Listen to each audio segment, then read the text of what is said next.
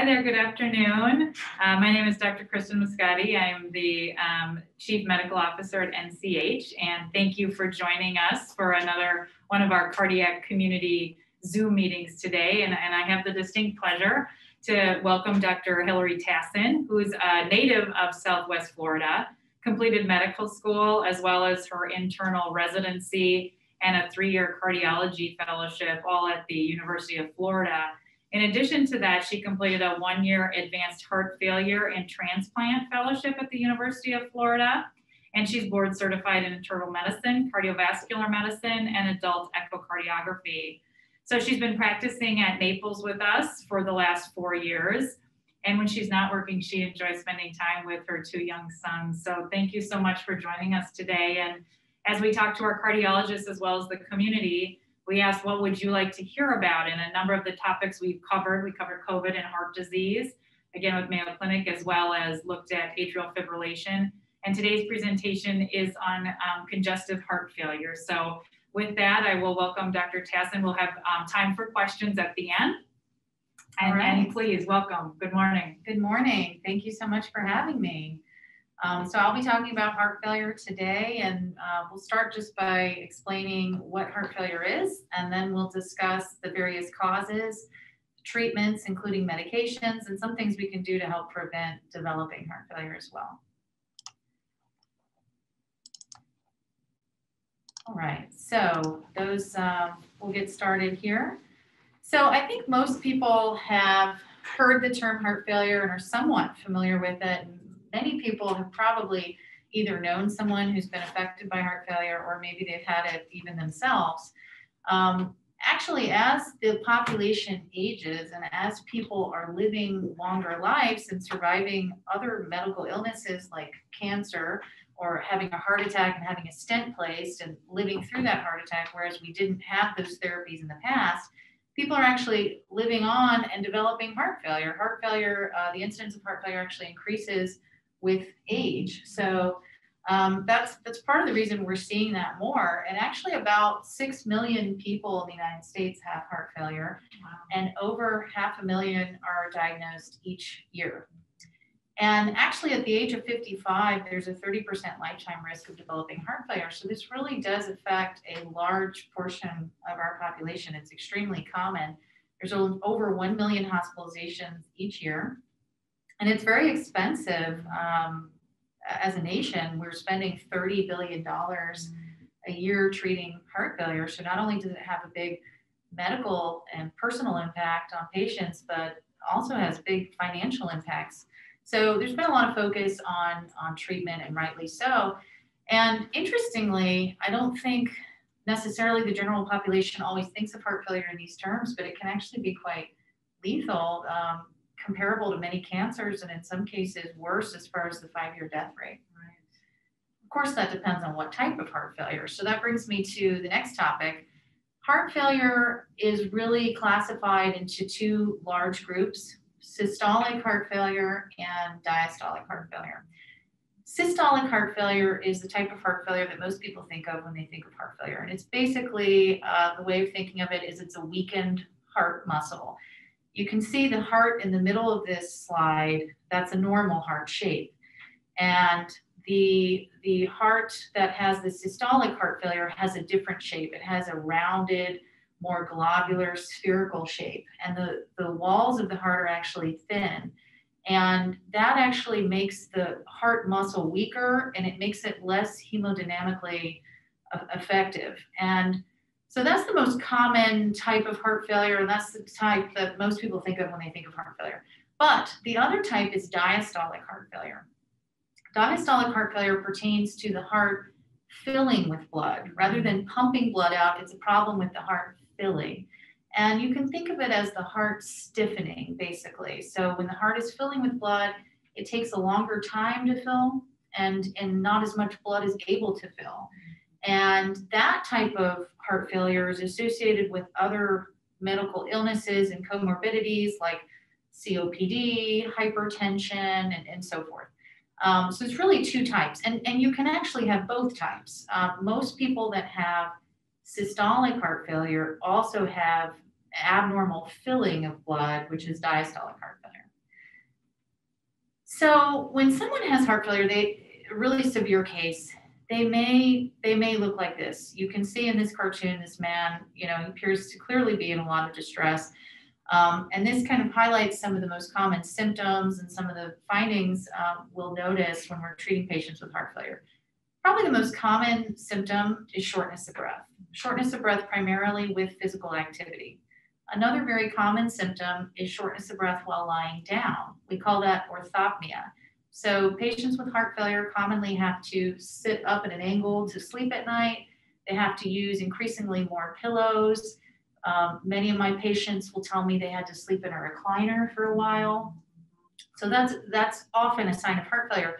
Also, coughing, especially coughing while lying down, is a sign of heart failure because the fluid in the lungs can actually irritate uh, the, the bronchus and, and cause coughing. And especially if someone is coughing up a, a pink frothy type material, that's usually pulmonary edema, that's fluid, that's very worrisome.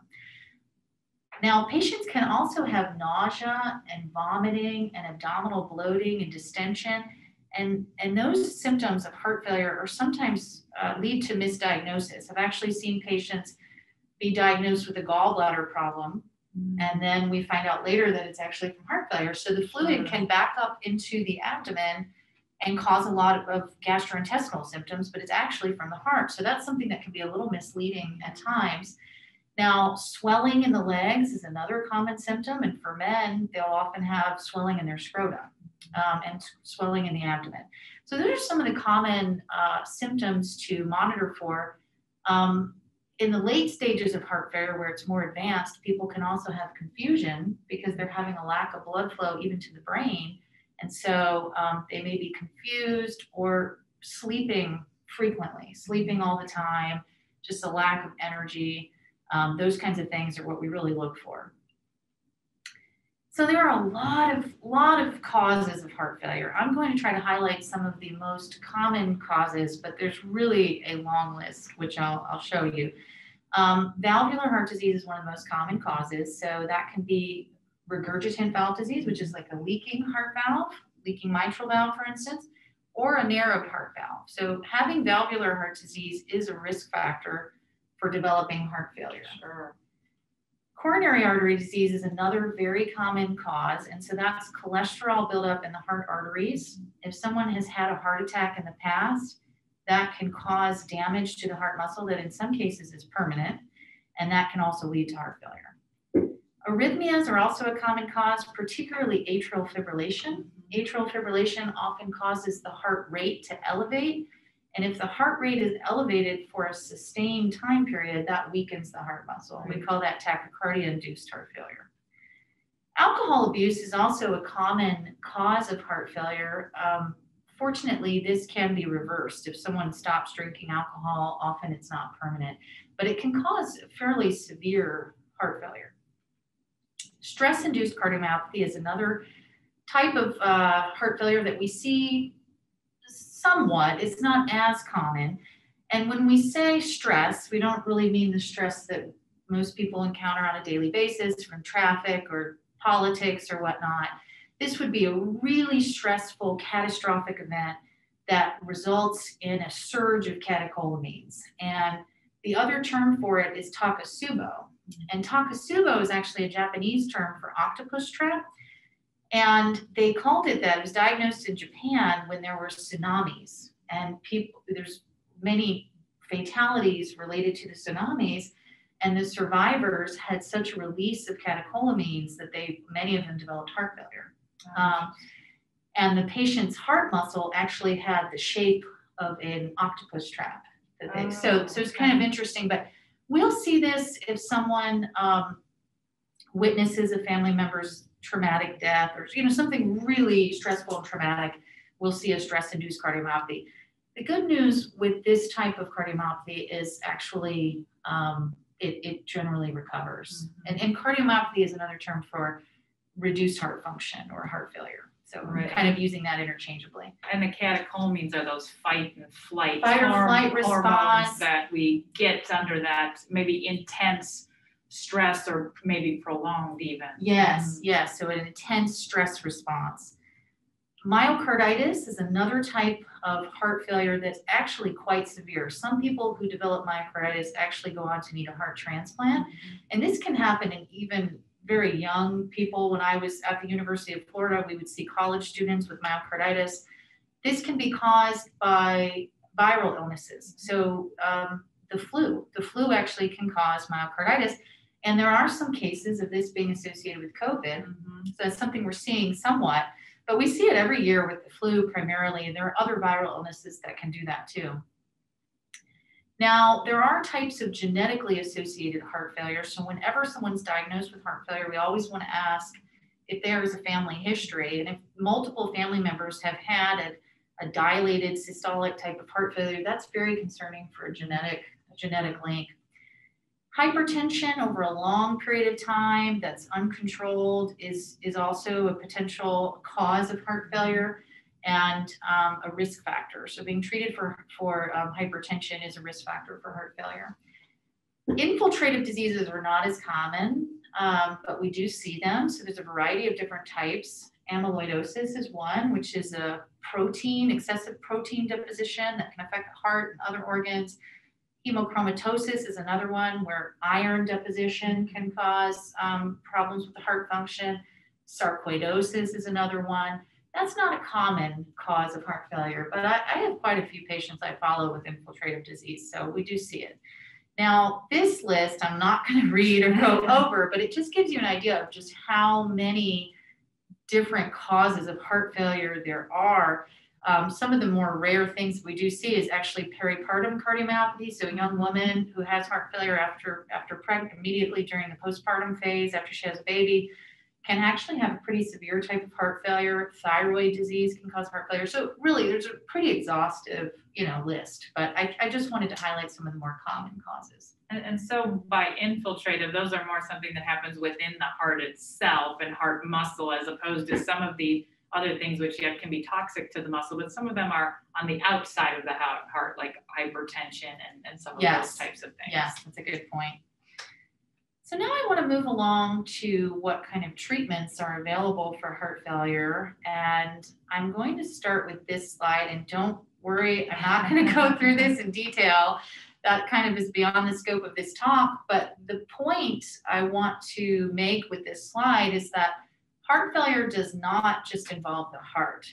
The uh, heart failure actually involves the entire body and involves the renin-angiotensin system, which is a system that regulates fluid and, and salt management within the body. And that actually involves a very complex network of hormones that communicate between the lungs, the liver, the heart, even the brain, uh, arteries, adrenal glands.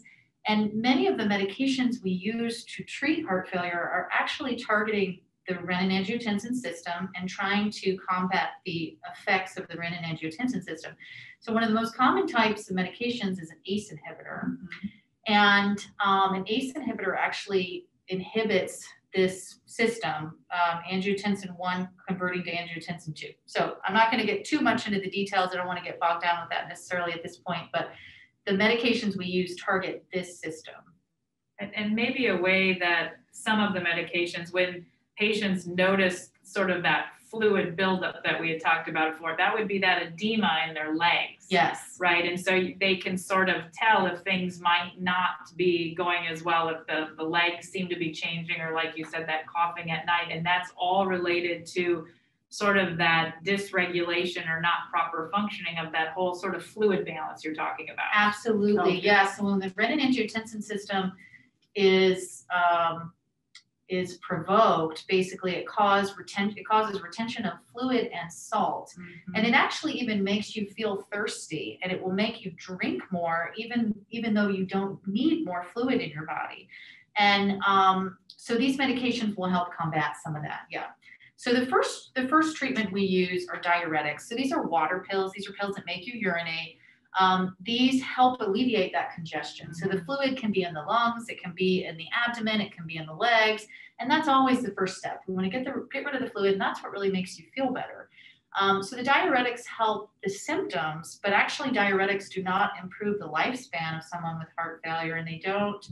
Um, they don't improve the lifespan, but they do improve symptoms. Now, all the other medications I'm going to talk about actually can lengthen your lifespan and prevent hospitalizations. So the next tier of medications are focusing on that renin-angiotensin system.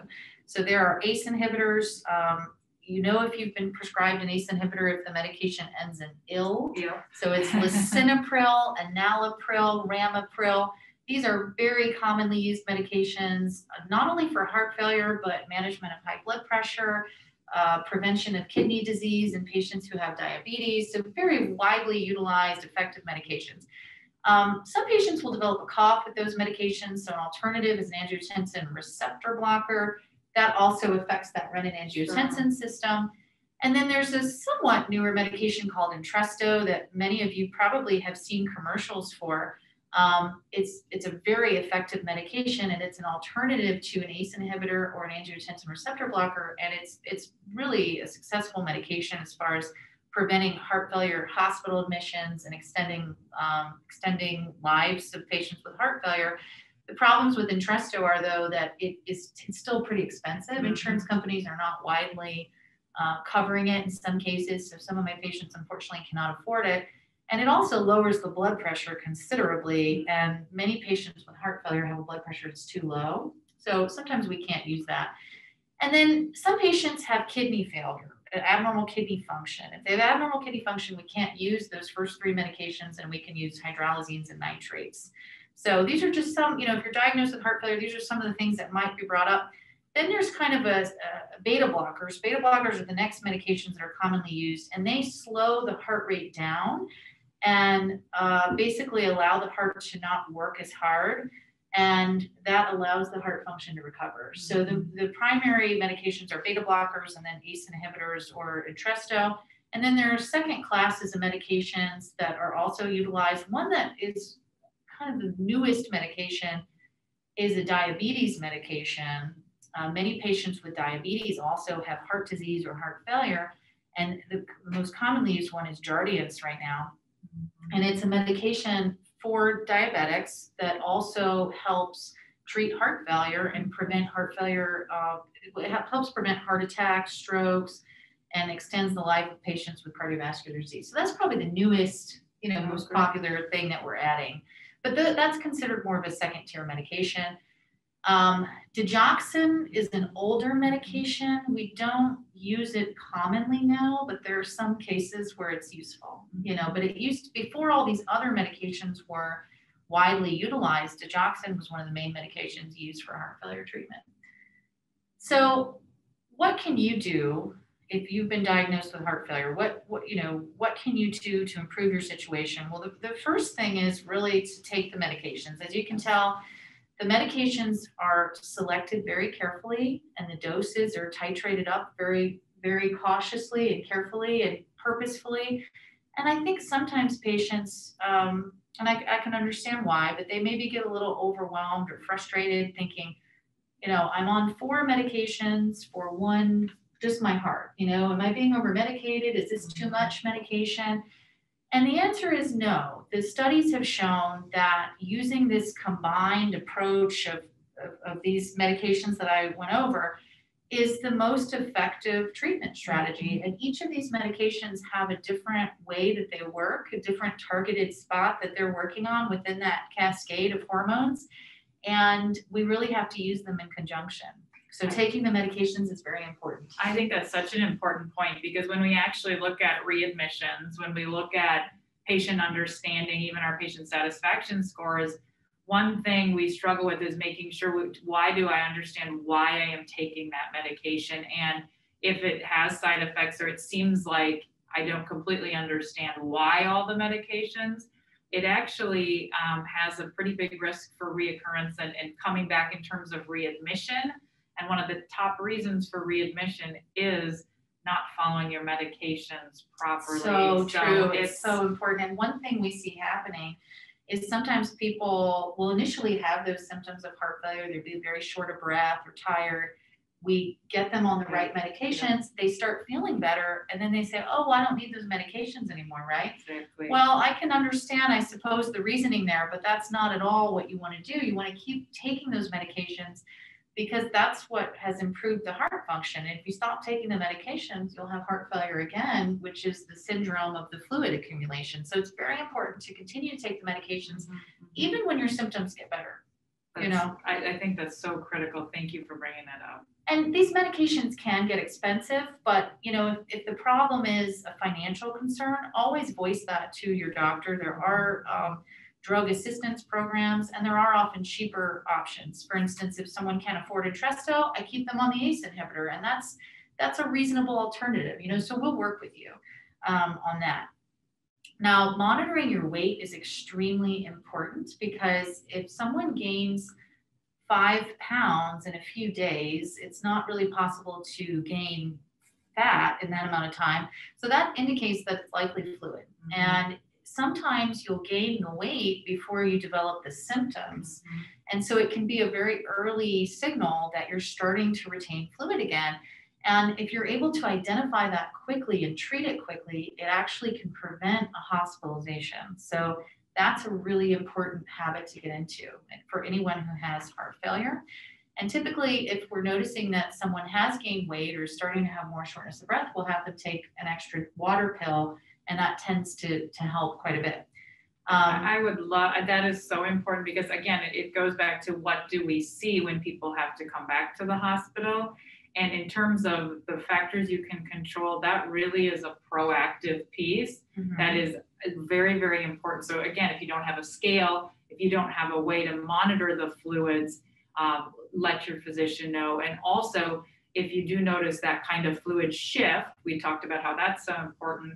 A call to the nurse would be really helpful because you can proactively adjust things before you have the symptoms and end up going back to the hospital. So I, I think those top two points are so important. Yeah, and I think patients sometimes feel uh, maybe when they're first diagnosed with heart failure, uh, overwhelmed or out like they're not in control, you know. And there are things that you can do that are within your control that give you power over the disease, you know, and managing it. And monitoring your weight is part of that, as well as um, diet. So that's my next point. The next point is you really want to avoid salt. Salt, uh, eating salt makes uh, makes you retain fluid and water, and that's especially true in patients who have abnormal heart function. And salt is everywhere in the American westernized diet, and you know patients can be misled by this because some people think, well, if it doesn't taste salty, it's not salty, and that's not true.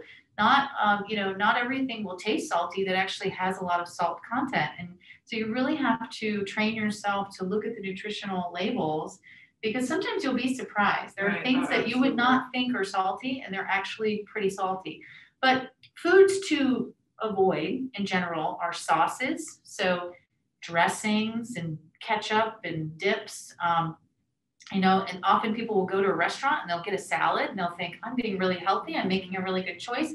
But that dressing could really counteract those that healthy choice. So you really have to watch that. Um, anything that's a preserved food is going to be salty because the salt is preserving it. So microwaved meals, canned foods, um, preserved meats, you know, salami, prosciutto, uh, cheeses tend to be salty. Any type of finger food, olives are salty. So um, there's certain things you learn to just kind of avoid. Oh, deli meat is a big one. Um, so salt is a really, really big factor. And and you know, some patients will say to me, "Well, I don't add salt to my food." Well, that's great. You're not adding you know salt to your food, but that's often not enough. It, Right. it really takes you know more vigilance than than that. Um, also, restricting fluid, and this is something that a lot of people are surprised by because I think our whole lives we're told drink water, flush out your kidneys. It's healthy to drink more water. And that's true, but when you develop heart failure, that's not that's no longer true. So you have to really restrict your fluid intake, um, and that I think is a, that's a big change for some people, um, and that includes any liquid. You know, so that's also like people have a tendency to not think about coffee as, as a you know, but that's liquid. I'm one of those. Yeah, Maybe just because it's a habit, they've always Yeah. done that their whole life. They don't even they don't even consider it as you know I've got to include that or also soups. Soups are fluid, you know, it's not a drink, but that has to be counted into your fluid intake. So, um, so initially when people are diagnosed with heart failure, we often give them the hospital, they're in the hospital, we'll give them a container that shows them what a liter is, you know, just so people can start getting used to counting, you know, how many uh, milliliters they're drinking.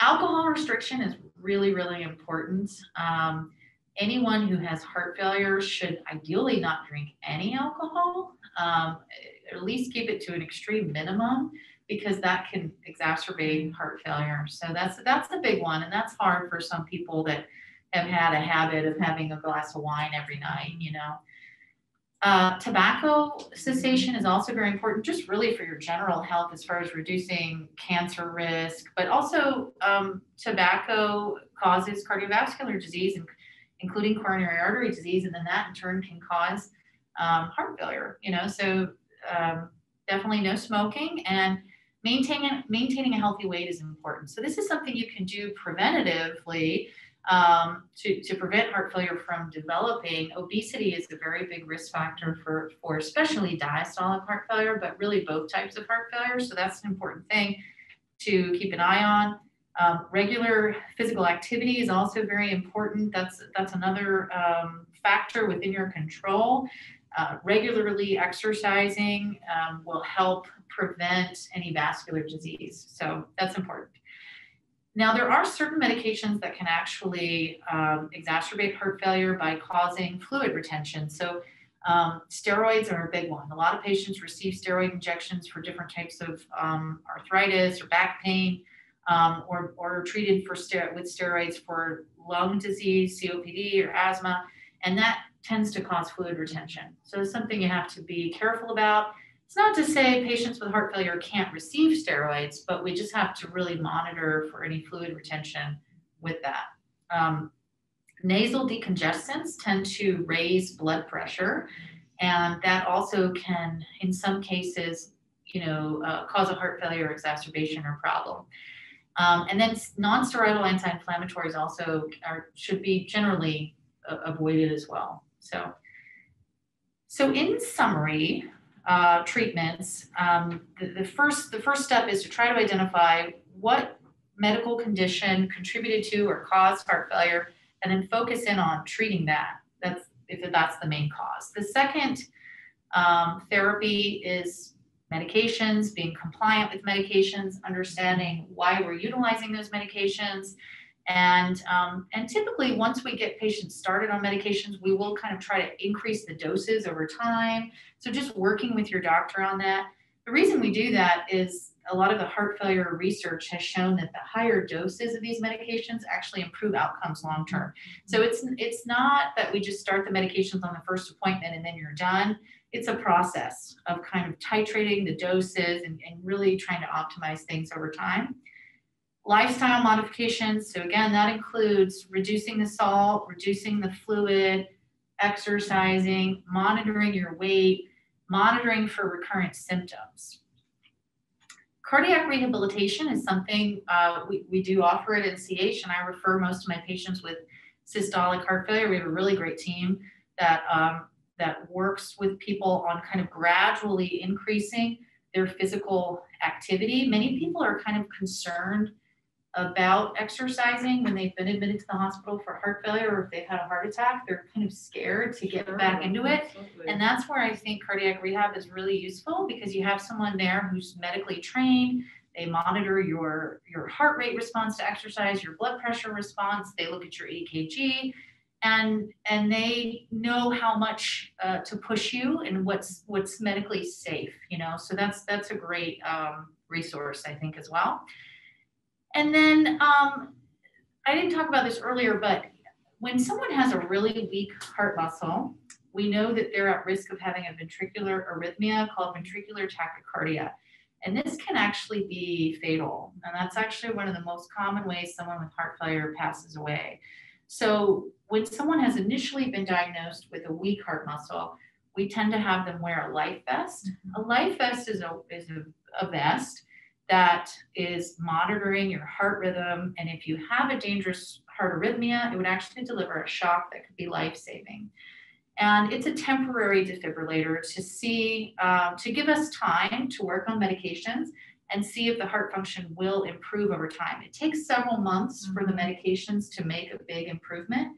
So typically we'll have patients wear a life vest for about three months and then we'll reassess the heart function. If it's improved, then the risk of having a ventricular arrhythmia is much lower, and that's great news.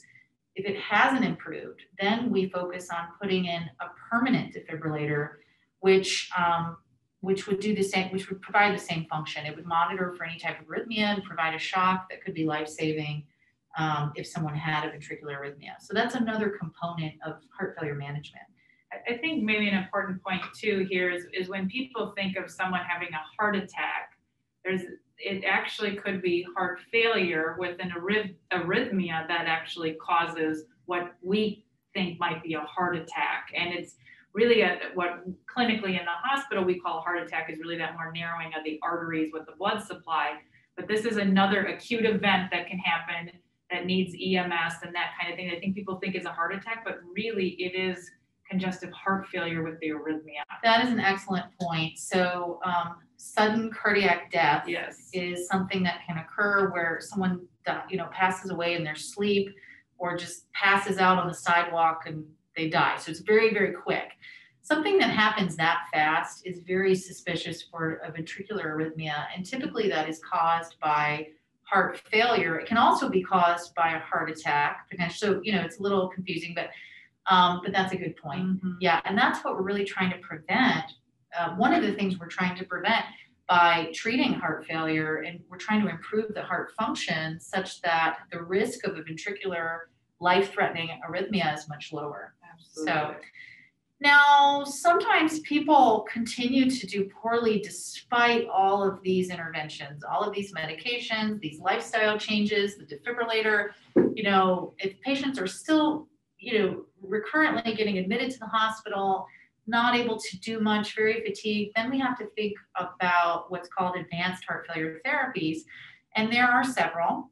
There are inotropes. Inotropes are very powerful medications that improve the heart's contractility and strength, but they're only provided intravenously. So it requires having um, what's called a PICC line, which is a line that goes directly, catheter that goes directly to the heart, and it requires a pump that they have to wear. Um, but it is something that can improve quality of life and prevent hospitalizations. And then um, another device that um, is some, sometimes utilized is a left ventricular assist device, which is basically what's pictured here on the slide. And it's a, it's a mechanical pump that diverts blood from the left ventricle up to the aorta. So it's basically bypassing the weak heart muscle. It's taking over for the heart muscle. And patients can actually, if someone's sick enough to need a left ventricular assist device, typically they're expected, uh, their life expectancy is roughly six months, okay? And with the left ventricular assist device, people can live five years or more uh, potentially. So it really can add a lot of uh, quality time. Now, it, that's another talk in and of itself. There are a lot of problems with left ventricular assist devices too. And that's not something we would do here. That's something that requires a referral to a tertiary care facility. Um, but it is something that's offered for refractory or advanced heart failure. And then heart transplant is another option too. Um, there are age limits to heart transplants, usually around age 65 or 70 is when it's not really considered an option beyond that. Um, but for our younger patients, that's sometimes a, you know a good option. And I work with a lot of. I, I did a heart transplant fellowship, mm-hmm. um, so I'm familiar with that, and I refer a lot to the tertiary care centers and work with them on heart transplants as well. So that's something you know we do have to consider in some of our patients. So. Um, so our goals of care when we think about treating heart failure are first of all to resolve the congestion. So that's the immediate treatment. When someone comes in, their lungs are full of fluid, they have fluid in their legs, we want to get the fluid out. Sometimes that takes a while, but that's what really makes people immediately feel better. Then we, in some patients who have really severe heart failure, they're not actually pushing blood to the rest of their body. So they may have cold legs, they may have kidney failure because their kidneys aren't getting enough blood they may not be thinking clearly because their brain isn't getting enough blood. So we want to improve perfusion. We want to help the heart pump blood and get blood to the entire body. So that's always a focus. Now that's more so in the hospital when someone's really um, in severe heart failure. But long term, one of the really main focuses of heart failure treatment is into improve functional capacity, meaning improve what you're able to do. So for some patients, that means they want to get back on the golf course. You know, some people that means I want to play with my grandkids. You know, I always ask my patients, what is it that you're working to? Because it's different for different people. And it depends on the severity of the heart failure. But that's a really big focus is we want to improve what you're able to do. We want to get you back to your normal life and a good quality of life. So that's a big, big focus, especially in our community. Everyone is so active. I have a lot of patients that, despite advanced age, often I have a lot of patients that are in their 90s that are playing tennis and Right. you know like Excellent. really active. That's So impressive. yeah, it's great. So we have an active community, so that's always a really big focus. Um, then we really want to prevent hospitalizations. Nobody wants to be in the hospital, and uh, you know, and so we want to keep you healthy and keep you out of the hospital as much as we can. But we're ready to take care of you if you are sick enough to need to go in the hospital. Um, but that's a way to improve quality of life, and also. Every time someone is hospitalized for heart failure, that's a very bad prognostic sign of how they're going to do long term. So that's another reason we want to keep them out of the hospital and identify uh, symptoms quickly to try to prevent it from getting out of hand. And then we want to prevent fatal arrhythmias. We kind of talked about that with the life vest, the defibrillators. The arrhythmias are very potentially very dangerous, so that's something we're trying to uh, correct as well. And we want to extend your life. We want to extend the qual. We want to improve the quality of life, but also extend the quantity of life, hopefully.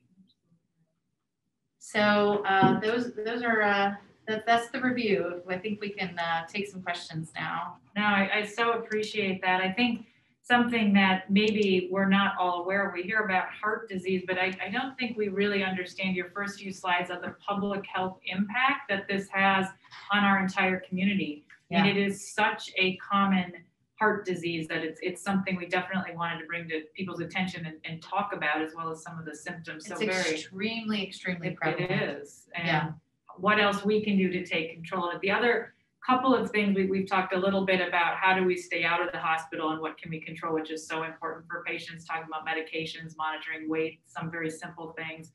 Obviously eating healthy and all the other lists that we know we should be doing.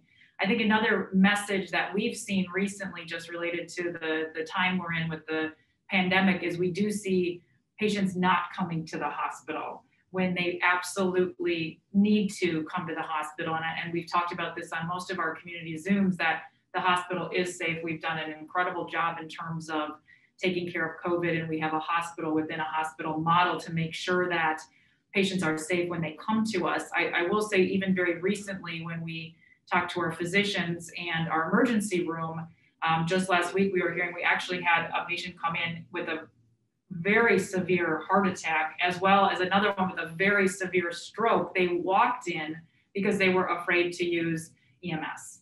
So I think we are continuing to see the fear of, of, of patients not coming to the hospital. And I do want to make sure, absolutely we want to keep you at home. How do we optimize that for you? But at the same time, if you need to see us, we are here in the clinics. We are also here in the hospital. And, and please use those services because with this change we've all gone through with the pandemic, we're actually seeing a shift in terms of fear for patients to come in. So I, I just wanted to quickly address that as well. But we would love to, yeah, we would Yeah. love to open up for questions. Yep, and we have a few questions. And for our audience and anyone watching, please access the Q&A tab at the bottom of your screen if you do have any questions. So the first question we have is, can heart failure be reversed?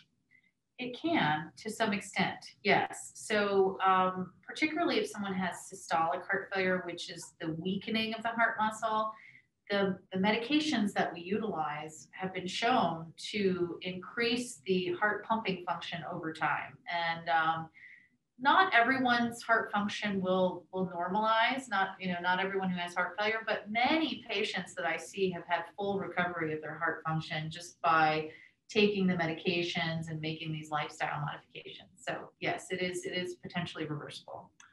Dr. Tassin, you mentioned foods you should avoid. Are there any foods you would recommend for someone who is suffering from heart failure? Well, I would just say in general, uh, a healthy the things that we commonly know are, are a healthy diet. Um, so I would say lots of vegetables, fruits and vegetables.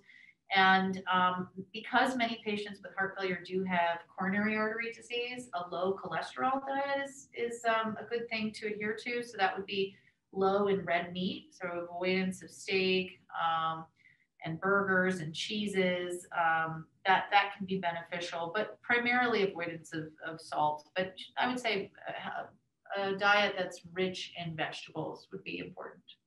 It seems to come down to actually looking at the products on the back to see how much sodium, because I think when we actually add that up, it's unbelievable where salt is hidden. That's what I've learned when Yeah. I've tried to help my family members. especially eating out at restaurants. And I mean, Naples has, you know, we have some of the best restaurants. I love going to them too, but you have to be so careful. It is hard to find a meal at a restaurant that's not high in salt. I mean, really, and especially like the bread they bring out beforehand and everything. You have to be really careful eating out. Yeah. So our next question, um, can someone have heart failure with having any physical signs of having it too? So are they can they, they be aware of it without actually feeling the physical effects of heart failure? Well, technically, the term heart failure really pertains to the syndrome of fluid retention and, and symptoms.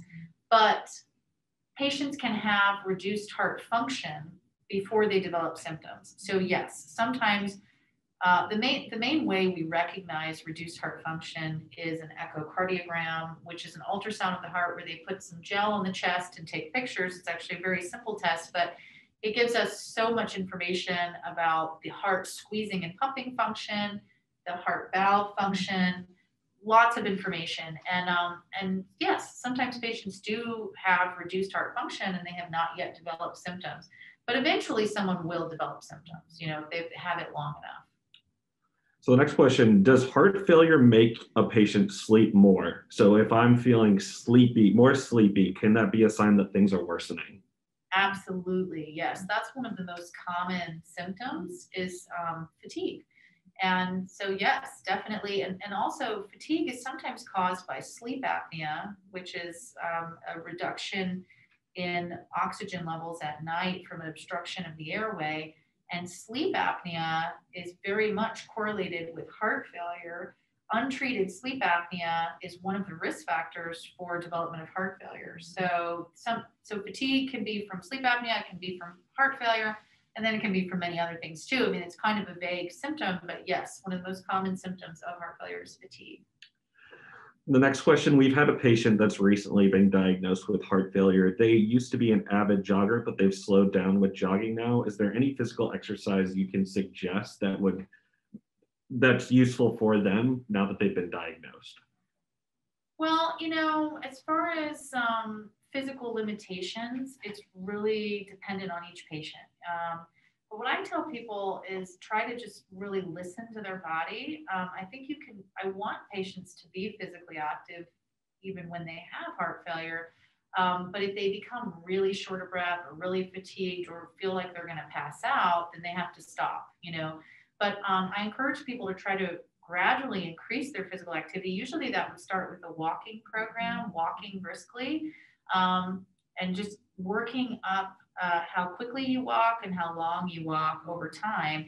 Many patients who have been diagnosed with heart failure, especially those who have been hospitalized, actually get deconditioned from being in bed and, and not being as active. And so sometimes some of the reduction in what they're able to do is simply from deconditioning. They just haven't been exercising and out and Right. walking. And so um, I think I think walking is a great exercise. Um, a lot of our patients have joint pain though, and they have a hard time either with hips or knees walking.